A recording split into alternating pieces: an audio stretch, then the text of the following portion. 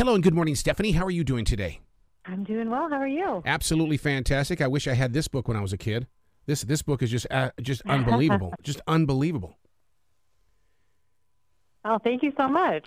What, what's so fascinating about this book is that the imagination of, of a young adult and or child, they're, they're going to understand this because they've been surrounded by computers their entire life. Whereas when I was a kid, a computer to me was a calculator.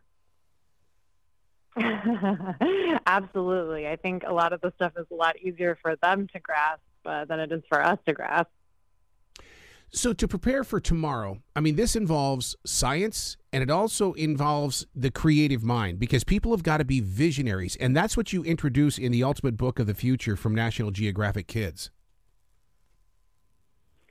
Yeah, there are so many people, um, a lot of them young people, coming up with just amazing ideas. Um, there's an invention in this book uh, created by a kid that is uh, able to sort of pick up trash from our oceans. And so I think that, you know, I hope that this book inspires kids who are reading this to maybe come up with some inventions of their own to change their own futures. Did you feel like a kid when you were putting this book together? You know, I have been writing for kids for 12 years now, and I pretty much always feel like a kid. Um, I think I have a kid level curiosity in the world, and I'm just constantly amazed by the incredible things that people all over the place are doing. one one of the things that you cover in this robotics, bionics, space travel. H- how do we keep their minds activated. Because i mean we, we live in this this add world or, or twitter speak as i always call it because people only want so much of, of the story. They don't want to you know to play it all out. Can we get to these robotics bionics and space travel in their time? Oh absolutely. The idea of this book was you know we don't want to talk about technology that's going to maybe happen right. far away but what is the world going to look like in maybe the 2050s when kids today are adults? And so all pretty much all of the technology is um, you know real technology that's in development. A ton of actual working prototypes. Um, flying cars is a great example. That's been something that you know people have been saying is right around the corner for about a hundred years now, but now it really is right around the corner. Um, there are a ton of flying cars that are able to fly right now, and um, a lot of ports for these flying cars that are in development. So um, that is one piece of future technology that I feel really confident predicting that kids are absolutely going to see in the near future. And there's a lot more of that. It, it might be my age, but I, I, still sit here and I look at electric cars, going, "How? Why would I buy a car that only goes 300 miles? I mean, that, that uh, like I said, it's probably my age. And where are they charging these things up? How are we going to fly cars if I can't see these these these places where people are recharging their cars? yeah, I mean, I think uh, I, I, I think you're right. I think it is really really hard to imagine. Um, but I think you know there's there's there's a difference between everybody having a technology right. You know, although we do see so many people have electric cars and can charge them right in their garages mm-hmm. now. Um, and, but there's a difference between everybody having something and, and something you know coming out. Not everyone is going to have flying cars right away um, we're going to see them more uh, in specific routes. So, for example, one of the, the earliest routes is probably going to be uh, between Manhattan and John F. Kennedy Airport. That trip now takes about an hour. And uh, with the flying car ports that are in development, it'll hopefully take about six minutes. Wow. Wow one of the stories that I can relate with, uh, the cutting edge stories with training doctors with virtual reality. And the reason why I can relate with it is, well, it's not because I'm a doctor, but because I teach broadcasting to students in in the southeast here. They're, they're going to the metaverse. They're, we're going to be teaching people around the world through the metaverse when it comes to broadcasting. I am so into doing what you're writing about here. Yeah, uh, doctors being able to practice virtual surgeries before they do the real thing is um, a super cool piece of technology.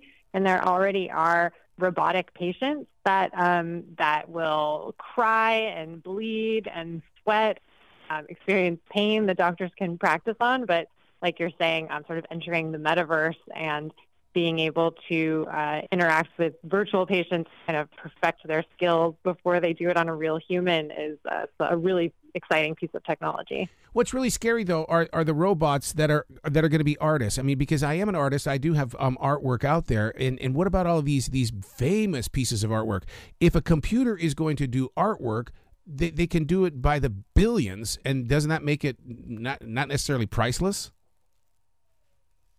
Yeah, I mean, I think that's a piece of the future that we're going to have to see how that plays out. Um, I mean, there already is uh, is robot art being done. Um, uh, I think the first piece of robot art sold for, or, or a, a, recent piece of robot art sold for about four hundred thousand dollars. Wow. Um, but that might be the novelty of it. And when there's a ton of AI generated art, uh, that novelty might kind of wear off. Um, I would say that the robot art now is not generally super impressive. So I don't know if that's something that we have to worry about quite just yet. One of the things that we're we've been experiencing over the past ten years are holograms, and I mean the group ABBA is putting an entire tour together where you'll be able to see them up on stage. I mean they did it with Buddy Holly. We I when when I saw Queen in concert, they had Freddie Mercury up there on stage. This is really getting good. This hologram stuff. It is amazing. I mean, you truly can hardly tell the difference. Kind of scary though, but I love it though because I mean I, I would love to go to an Elvis Presley concert. And if, if if if that's him on stage and that's the what his hologram is doing, I'll I'll still enjoy it. Yeah, I think there are some people like that who think it's a really cool opportunity to see a quote unquote live performance of someone iconic. Um, and then there are other people who think that maybe we should leave the past in the past. Um, you know, I think it just depends on your on your perceptions. But but like you said, holographic performances they're happening whether whether uh, everyone likes them or not.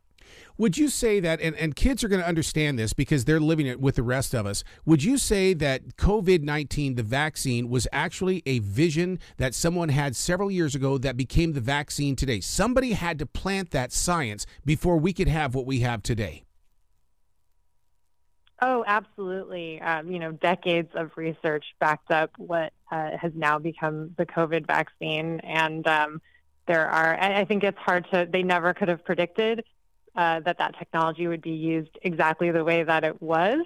Um, but there are so many people developing tech like that that, that will be used in sort of unexpected ways. And um, I think that's one of the exciting things about the future, right? Is that we, we can't totally predict it. I'm a huge fan of Star Wars, watching the Obi Wan Kenobi and stuff like that on Disney Plus. But the thing is, though, is I sit there and I can see those droids and how smart they are. Are computers and robots going to become smarter than humans? You know, I think that it depends on how you define smart. You know, we um, Watson, the robot that famously competed in Jeopardy, and uh, a robot like that is able to basically memorize all of Wikipedia in a matter of minutes, you know, can input basically the entire uh, collective knowledge of the internet and be able to access that, which is something that we humans can't do. But robots, um, as advanced as they are, they still, you know, we have robots on other planets, on Mars. They still need human input to operate. And um, there are some people that think that robots are going to outpace us, and it's possible to sort of program in human creativity. And there are other experts who think that uh, no, that human creativity is just like special part of human brain power that robots will never be able to replicate. So, you know, we'll just have to see. So is it is it robots that, that, they're putting in smart clothing? What what is going to make smart clothing that one thing? Because I'm really interested in this. I I, I want to know what my blood pressure is. I want to know when I'm stressed out. I want to know what my temperature is. And if there's such a thing as smart clothing, I want some of this action. Yeah, I mean, we already kind of have it in some of the high tech watches that are out there. Mm-hmm. You know, I think smart clothing is only going to continue to get cooler. There are uh, contact lenses in development that you'll be able to sort of use as the camera. You can blink and they'll take a picture. Wow. There are um, solar powered jackets that will be able to heat you up when you're cold, keep you warm. Um, there are even uh, clothing in development that contains special microscopic structures to keep them clean. Um, when they're exposed to light, the structures release a burst of a burst of energy that will break down you know, that errant ketchup stain that you get on them. Um, and, you know, the idea of never having to do laundry again, I think is pretty appealing. I, I want young readers and adult readers to read your story about, about Could It Happen? Because, I mean, this is Jurassic Park's big return to the big screen this weekend, and you've got a story in here about the woolly mammoth. My God, if that woolly mammoth comes back, is that really going to be a big positive thing? Um, it depends on how you look at it, like all of this stuff. Um, but there is a guy who is famously working on bringing woolly mammoths back oh by God. sort of um, genetically, yeah, genetically altering elephants, which are not too far removed from woolly mammoths, to bring back some of those woolly mammoth characteristics, like the long fur. Um, that's something that we have the technology to do, so it is technically possible. Is it a great idea? That just depends on your perception. This is a brilliant book. I, I'm so proud of you guys for doing this. And, and this is one of those books that I have to put away and come back to in 10 or 15 years because I, I want to see how it all changed. I just I just love what you guys it brings out the kid in me and it also makes it fun to be an adult. Oh, that's so nice to hear. Please come back to this show anytime in the future, Stephanie. The door is always going to be open for you. I appreciate that. Will you be brilliant today, okay? okay, thanks.